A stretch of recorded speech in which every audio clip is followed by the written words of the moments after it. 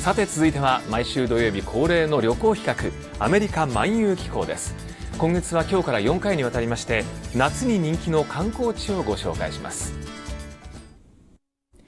暑い。ニューヨークは8月に入り気温も30度を超えたりと夏真っ只中。そこで今月は夏に行きたい観光地として知られるミネソタ州ミネアポリスへ。今回のリポーターに選ばれたのは皆様おはようございます。はじめまして重山です。よろしくお願いします。趣味はお買い物と食べ歩きという重山ディレクターことしげちゃん。いざ出発。カメラ片手にちょっと遠くへ。アメリカ漫遊機構ミネソタ州ミネアポリスの旅。その1ということで向かった先はミネソタ州ミネアポリス。ニューヨークラガーディア空港から今回もデルタ航空でミネアポリスに向かっている間にまずは現地の基本情報から。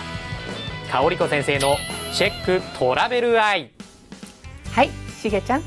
取材頑張ってくださいね。ミネアポリスはアメリカ中西部に位置し人口38万人のミネソタ州最大の都市で経済や芸術面で発達している近代的な街として知られています。またアメリカの大動脈といわれるミシシッピ川を水源とする20もの湖が市内に点在することでも知られミネアポリスのミネは先住民のネイティブアメリカンたちの言葉で水という意味を持つそうです。ちなみに東海岸のニューヨークからは3時間。西海岸のロサンゼルスからは3時間30分ほどで行くことができます。しかも日本の成田空港からデルタ航空の直行便があります。到着しました。ニューヨークに比べて少しひんやりしています。まず移動手段として空港でレンタカーをゲット。そして向かったのはなんだかとても大きな施設みたいです。空港から車で走ることおよそ10分。ここはモール・オブ・アメリカと呼ばれる全米最大級のショッピングモールで延べ床面積はおよそ39万平方メートルと東京ドームが8つもすっぽり入るほどの巨大施設なんです。さらに有名デパートをはじめ520以上の店舗があるだけではなくアメリカの人気子供アニメ「スポンジボブ」などで有名なテレビチャンネルニコロデオンが運営する屋内型テーマパークもあります。また1万匹以上もの海の生物に出会うことができる世界最大級の水族館。さらにこれまでに5000人以上もが挙式を挙げた教会まであるんです。暑さも気にせず大人も子供も楽しめます。ここでチェックトラベルアイミネアポリスはアメリカの旅行雑誌でニューヨークサンフランシスコなどに次いで最も買い物に適した都市に選ばれたこともあるんです。なんといっても衣類や靴などに税金がかからないのが嬉しいポイントです。このモール・オブ・アメリカには1日平均およそ11万人。1年間で4000万人もの買い物客が訪れるそうです。しげちゃんスポンジボブを発見。思わず写真をパシャリ。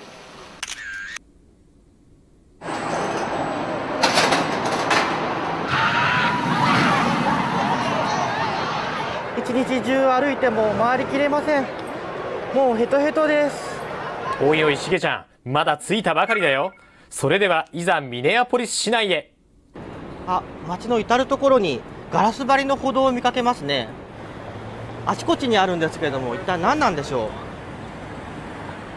う？ミネソタの冬はアメリカの冷蔵庫と呼ばれるほど寒さが厳しく雪も積もりますそのような時に快適にビルとビルの間を行き来できる通路があればということでこのスカイウェイと呼ばれる高架歩道が1962年に誕生したそうです。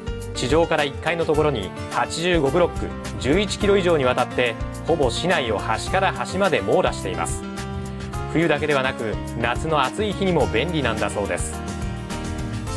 また芸術文化に優れているミネアポリスには美術館に併設された巨大なスプーンにさくらんぼが乗ったオブジェで有名なミネアポリス彫刻庭園や全米第4位のマンモス校ミネソタ大学定番のミシシッピー川のリバークルーズ黄色が特徴の自転車で湖畔や市街地を回るサイクリングツアーも見逃せませんその中でも気になったのは？Drop your knees. Drop your knees. Bend your knees. Yeah. ミネアポリスでは電動モーター式の二輪車セグウェイに乗ってミシシッピ川流域の歴史を巡るツアーがあります。川の周りの観光スポットは広範囲にわたっているため疲れずに観光してもらおうとセグウェイが起用されたそうです。ヘルメットを着用するので運動が苦手のしげちゃんも安心です。初セグウェイの記念に写真撮影。ミネアポリスの街を満喫し次に向かった先は？あお腹が空きました。食べることには目がないしげちゃん。やっぱりグルメ情報は欠かせませんね。ということでやってきたのはミネアポリスの名物が食べられるというこちらのレストラン。ここではミネソタ州名産のウォールアイという魚が食べられるそうです。Walleyes really live in rivers, freshwater rivers, freshwater lakes, and across the northern states uh, and into Canada. In fact, Canada is one of the greatest sources for our walleye consumption here in Minnesota. It is uh, one of the predator fish, so it swims deep and in the middle. And so it's very clean fish. It has a fantastic texture to the flesh. 早速食べてみると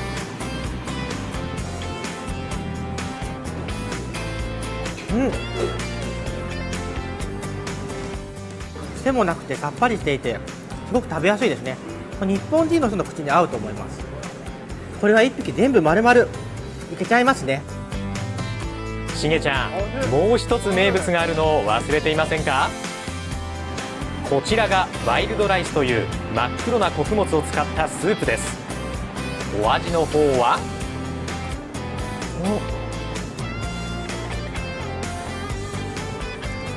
ライスというだけあってお米のような食感ですが香ばしい感じですね。お腹も満たしすっかり満足したしげちゃん。あれ？今回はここまで？それでは次回向かう先は？湖と思ってきたんですが砂浜もあってまるで海水浴場みたいです。一見普通のトーストに見えるんですけど何が違うんでしょう？果たしてどんな食べ物なのか。どうぞお楽しみに。あれだけ大きなテーマパークとショッピングモールがあるなんて驚きました。今日ご紹介したミネアポリスの情報は番組ホームページの Today's Eye プラスでご覧ください。以上 Today's Eye でした。